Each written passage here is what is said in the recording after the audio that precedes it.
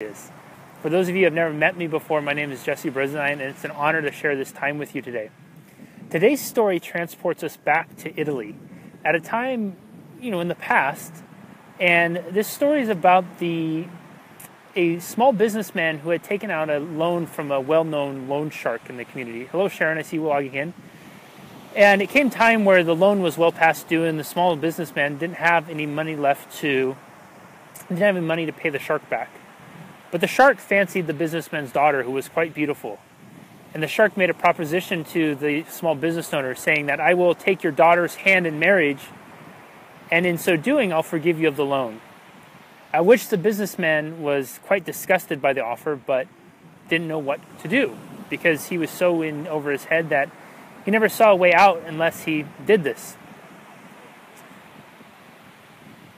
On the day that the discussion arose, the daughter met with the loan shark. And the loan shark was walking through this garden with all these beautiful pebbles and flowers. At which time the loan shark said to the daughter, he said, Here's my proposition. I will put in this bag two pebbles, one white, one black.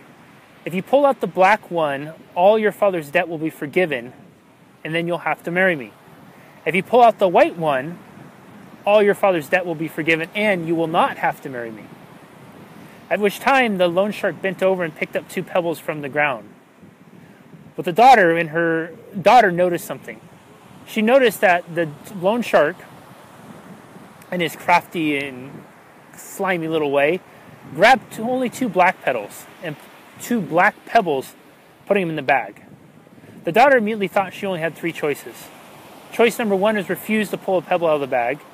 Choice number two is pull both pebbles out and expose the loan shark for the fraud he is.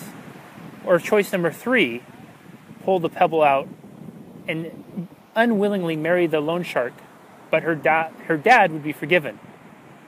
The de- her dad's debt would be forgiven. The daughter loved her father, and so she made the choice that she thought would be the best. And she reached into the bag and pulled out a pebble.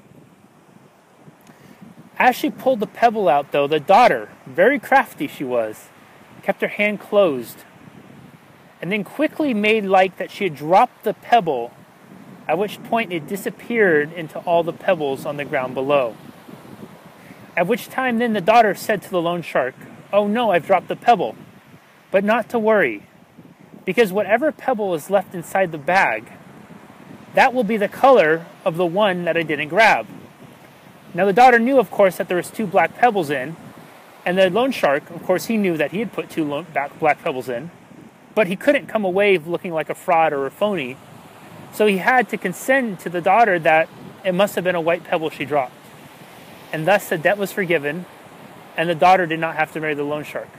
The moral of the story for me was sometimes in life we think that we're limited by choices, that there is no choice or the choices are very limited. But if you're willing to think outside the box, there's always another way, there's always another choice. It's just up to you to be willing to step out of the limitations you perceive and step into the possibilities that you believe could be out there. Now, I'd love for you to share your moral of the story. What's your moral of the story? Please leave it in the comments below. I'll come back and read them.